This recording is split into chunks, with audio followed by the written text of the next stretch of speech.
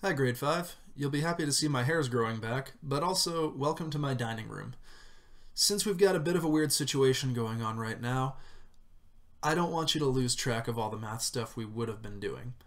Uh, this week, our activity is based around the concept of volume, which we haven't really explored yet in class, so I thought I'd record a short video about it so that you could see what exactly I'm talking about here. So, here it comes. Okay, so so far we've talked a lot about area and perimeter. How perimeter is a one-dimensional measurement and area is a two. That means that for perimeter we're really just measuring one straight line, even though that straight line happens to be wrapped around an object.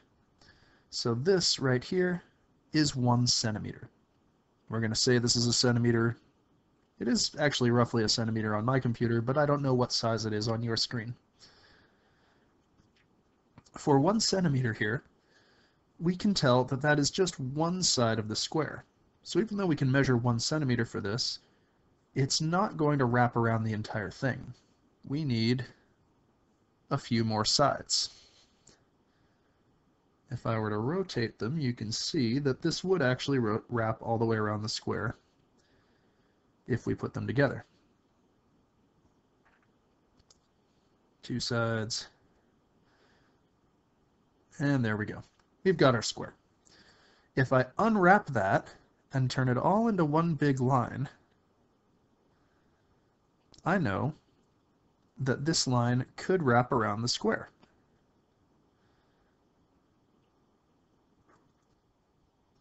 Three and four sides.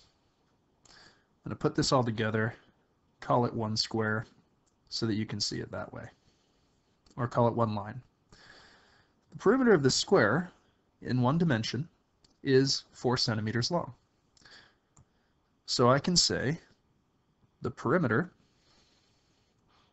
P equals 4 centimeters. Since I'm only measuring centimeters, nice and easy. I apologize for my writing, it's hard to do on the screen. Now, that's all well and good so far. You should know by the time you're in grade 5 that to measure the perimeter of something is just to add up all of its sides. Area is a little bit trickier, but should still be review. Area, we're talking about two dimensions. Now, to do this, we're talking about length and width. In this case, length is, let me go to pen mode, length is along here or here and width is the other one. As long as you're taking these two dimensions together and multiplying them together, you'll find out how many squares would fit inside. Area equals, I'm going to use a capital L here because we might be using a 1 in a second, L times W. In this case, our length is 1, and our width is 1. And I shouldn't need to tell a grade 5 that 1 times 1 is 1. In this case, I've got 1 centimeter, that's the unit I'm using, and I'm talking about how many squares fit inside it. So I can say centimeter squared, and a handy tip to remember that is since we're measuring in two dimensions right now, I put a little 2 up there to remind me of it so 1 centimeter in two dimensions, or 1 centimeter squared.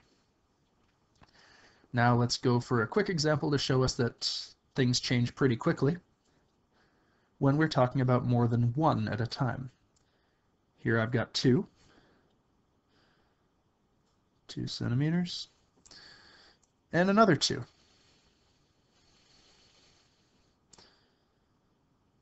Well, again, shouldn't need to tell a grade 5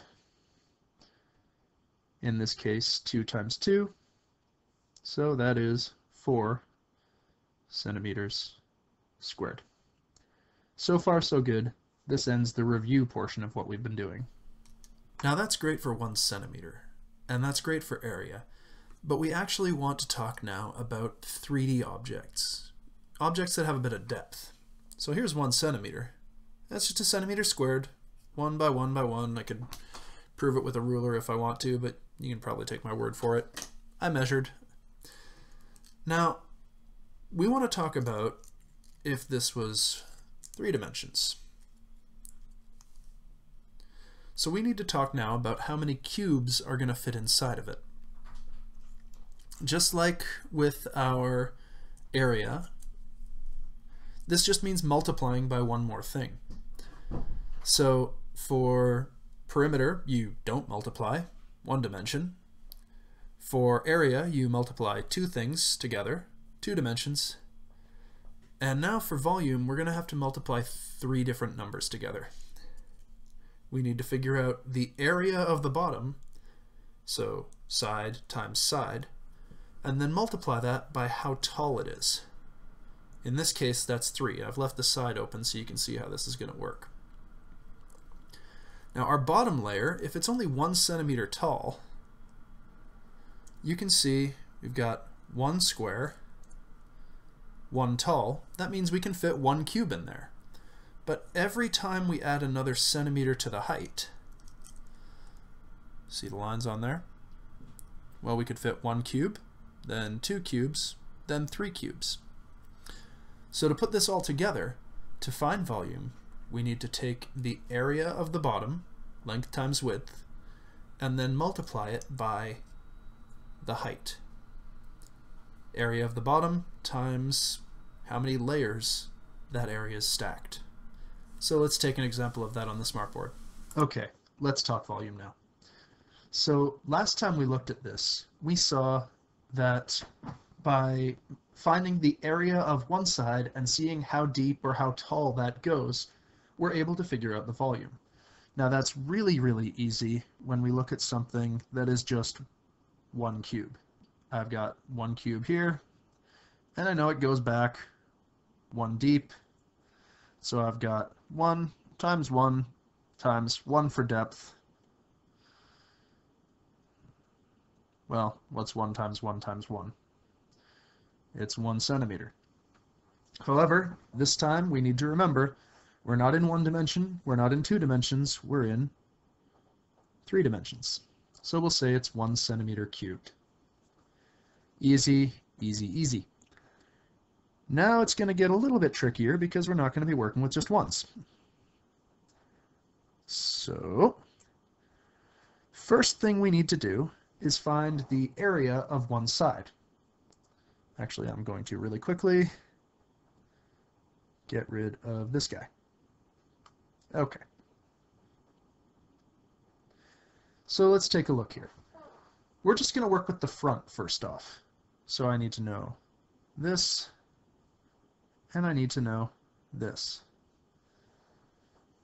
Now, hopefully it's pretty easy to tell because I've got this blocked off that the area of this is 1, 2, 3, 4 centimeters times 1, 2, 3, 4 centimeters.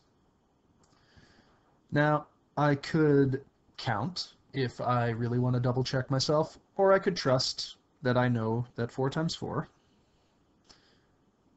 4 times 4 equals 16. But we can double check. 1, 2, 3, 4, 5, 6, 7, 8, 9, 10, 11, 12, 13, 14, 15, 16. 16 centimeters.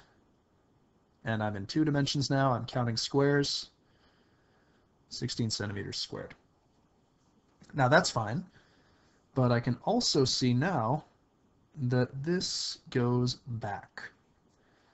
And it goes back, I'll count along the top, because it's a little bit bigger to draw on. One, two, three, four layers. So my depth here is another four centimeters. Now if I've got 16 on the front layer, I also have 16 in each of those four layers back.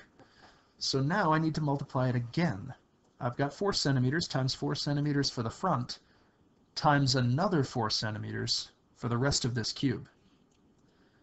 So let's take our area from the front, 16 centimeters squared, and multiply it by another 4 centimeters. This might take a little bit more drawing, You might trust my mental math, but I'll prove it to you. 16 times 4. Again, apologies for my writing. Learning how to do this on a laptop screen for the first time.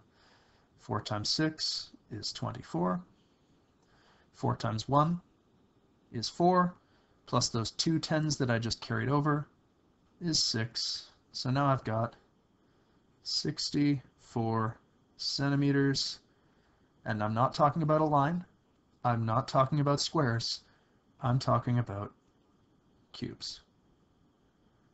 So, measure the area of one side, multiply that by how far back or how tall, whatever your third dimension is, and you found the three-dimensional volume of your shape in units cubed. In this case, our unit is centimeters. Okay, that'll wrap it up for now. Once again, I apologize that this was kind of amateurish as an online video goes. I don't have the best tools on my teacher laptop and am having to work with a basic touch pen and smart notebook software, but here we go. The important thing for right now is that you guys all recognize that for rectangular shapes, rectangular prisms, and cubes, we talk about the area of the bottom, which is length times width, same as we've always been doing, and then it's just that stacked. Layers of area. We could also get the layer of the front and count how far back it goes. Either one of those will be fine because either way you're multiplying three things together. Length, width, and height. You do that, you found your volume. If you have any questions, you know where to get in touch with me. Bye.